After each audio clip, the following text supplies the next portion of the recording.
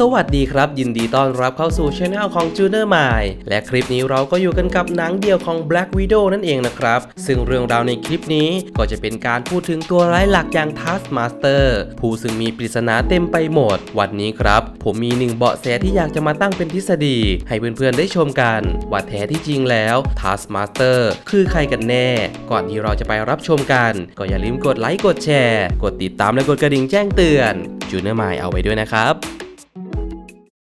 หลังจากที่ตัวอย่างหนัง Black Widow ที่ถูกปล่อยออกมา พร้อมกับการเปิดตัวตัวร้ายหลักอย่าง Taskmaster ซึ่งก็มีหลายคนคาดการณ์และตั้งทฤษฎีต่างๆ กันขึ้นมา ว่าเขาคนนี้คือใครกันแน่ ก่อนที่จะไปเข้าทฤษฎีของผม มาดูกันก่อนครับว่าทฤษฎีที่ผ่านๆมามีอะไรกันบ้าง ทฤษฎีที่ 1 ครับ ก็คือ Rachel Weisz ที่รับบทเป็น Melina Vostokoff โดย character ของเธอ ที่มีโหงวเฮ้งไปทางด้านตัวร้ายมากๆ หลายคนเลยคาดการณ์กันว่า นี่อาจจะเป็นตัวร้ายหลักที่แฝงตัวอยู่ในครอบครัวของนาตาชา และสัดส่วนของ Taskmaster ก็มีความคล้ายว่าจะเป็นผู้หญิงอยู่เหมือนกันนะครับ แต่ทฤษฎีนี้มันก็ได้ล้มไปแล้วนั่นเองครับ เพราะตัวอย่างหลังๆ ปรากฏให้เราได้เห็นว่าเธอนั้นได้อยู่ร่วมฉากกับ Taskmaster แล้วนั่นเอง หรือถ้า Rachel Weisz จะเป็น Taskmaster จริง ๆ อีกหนึ่งคนที่เราเห็นในภาพนี้ ก็คงจะเป็นเมลินาวอสโตคอฟตัวปลอมแล้วล่ะครับ ทฤษฎีที่ 2 ครับ มีความ make sense มากที่สุดแล้วในตอนนี้ เพราะหลายคนก็คิดว่า Taskmaster ก็คือเขาคนนี้แน่ ๆ นั่นก็คือ OT f l a g b e n ครับ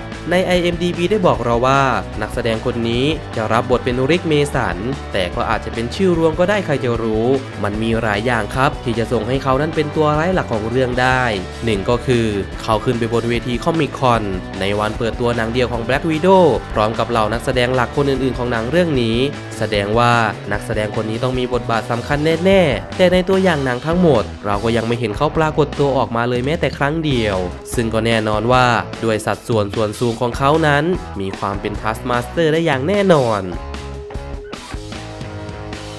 และ 2 ก็คือโปสเตอร์ใบปิดล่าสุด ที่มีการปล่อยออกมาโปรโมทหนังในระลอกสุดท้าย และนี่ก็คือการปรากฏตัวของเขาครั้งแรก ในภาพโปสเตอร์นั่นเอง และ OT f l a g b e n เองก็ยังได้ทวิตโปรโมทหนังเรื่องนี้ด้วย ในทวิตส่วนตัวของเขานั่นเอง ซึ่งมันก็มีแฮชแท็กหนึ่งครับที่น่าสนใจ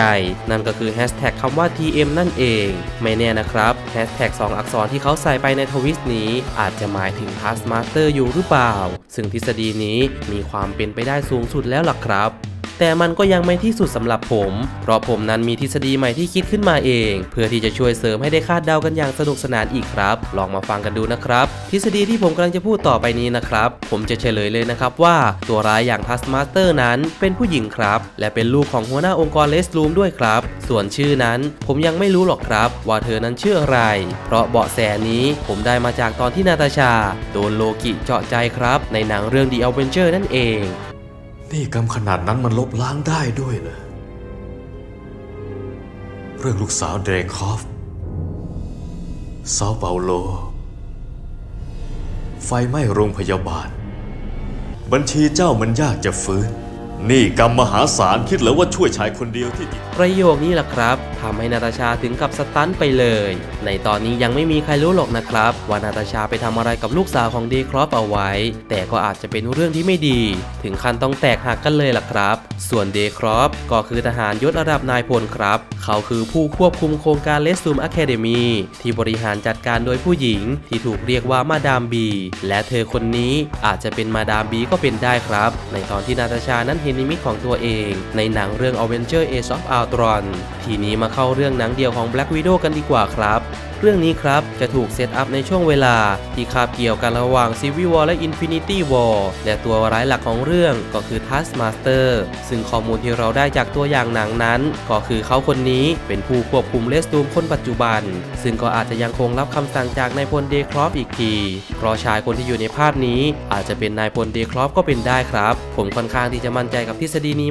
มาก ๆ เพราะว่าเรื่องราวของนายพลเดครอฟถูกพูดถึงเป็นครั้งที่ 2 ใน Black Widow Prelude ซึ่งเป็นปฐมบทหนังเดี่ยวของ Black Widow ในตอนที่รัฐมนตรีรอส ไปขอทุนสนับสนุนการไล่ล่านาตาชาโรมานอฟ จากสมาชิกสภาหญิงที่ชื่อว่า Hawley คนที่รอดตายจากเหตุการณ์ Captain America: The Winter Soldier เพราะนาตาชาปลอมตัวเป็นเธอนั่นเอง มันจึงทำให้ผมแน่ใจได้ว่า Taskmaster เป็นผู้หญิง และเป็นลูกสาวของ Dreykov เพราะ Red Room คือองค์กรที่มีแต่ผู้หญิง และหนังเรื่องนี้ก็ดูเหมือนว่าสัดส่วนของตัวละครนั้น จะเป็นผู้หญิงซะส่วนใหญ่ ตัวร้ายหลักอย่าง Taskmaster ก็อาจจะเป็นผู้หญิงได้เช่นกัน ส่วนเรื่องราวและทักษะต่างๆ ก็คาดว่าจะนำมาจากเหตุการณ์ที่ผ่านมาในหนัง อย่างเช่นทักษะต่างๆของ Taskmaster ที่สามารถลอกเลียนฮีโร่ได้หลายคน ไม่ว่าจะเป็น Hawkeye Captain America Black Panther Spider-Man หรือแม้แต่ Black Widow เองก็ตาม เราจะเห็นได้ว่าเขาจดจำกระบวนท่ามาจากการดูวิดีโอต่างๆ และการได้มาของวิดีโอนั้น ก็น่าจะเป็นผลพวงมาจากการที่ชิวล่มสลาย และได้เผยแพร่ข้อมูลต่างๆ สู่สาธารณะ เพราะเราเคยเห็นตัวร้ายอย่าง Helmut Zemo ในหนังเรื่อง Captain America: Civil War ใช้ประโยชน์จากข้อมูลตรงนี้ จนทำให้เหล่าฮีโร่แตกหักกันมาแล้ว ส่วน Taskmaster เองก็คาดว่าจะใช้ประโยชน์จากข้อมูลตรงนี้ ในการฝึกฝน และตามล่าหาคนทรยศอย่างนาตาชาโรมานอฟและจุดกำเนิดของตัวร้าย ก็อาจจะมาจากผลพวงในอดีต เพราะ MCU เองก็เคยทำมาแล้ว อย่างเช่น Mysterio ที่เคยทำงานกับโทนี่สตาร์กมาก่อน พร้อมกับคนอื่นที่อยู่ในแก๊งของ Mysterio เองก็เช่นกันครับ และกับ Taskmaster เองก็น่าจะมีความเป็นไปได้ ที่น่าจะนำพล็อดเรื่องตรงนี้มาสร้างเป็นตัวร้ายนั่นเองครับ นี่แหละครับ จึงเป็นเหตุผลที่ทำให้ผมตั้งทฤษฎีนี้ขึ้นมา ซึ่งอาจจะใช่หรือไม่ใช่ก็ได้ ฉะนั้นแล้วถามเพื่อนๆกันดีกว่าครับว่า ทฤษฎีนี้มีความเป็นไปได้มากน้อยแค่ไหน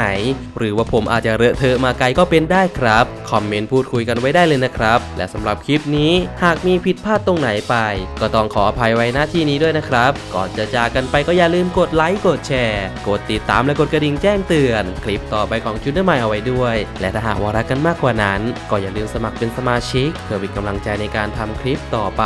สำหรับคลิปนี้ก็ต้องขอตัวลาไปก่อน สวัสดีครับ